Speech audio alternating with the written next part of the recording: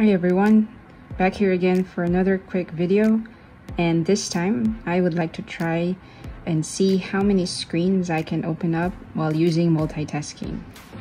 So let's try. First, let's open up Google. So this is the first app or screen. Second one, let's try to open up Safari in the split screen. Next, let's try to open up a third screen.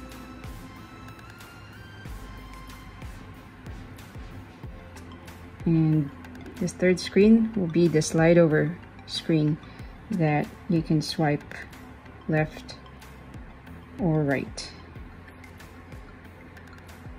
Now, the fourth screen could be here while you're in Safari, let's say, and playing up a video like this keynote event.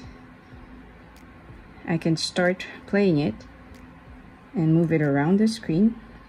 I can still go around Safari. I can still use this slide over screen. I can swipe it out or I can still use Google, bring back my slide over screen and the video is still playing. So yeah, I guess you can use four screens in total while using multitasking. So that's it. Thanks for watching.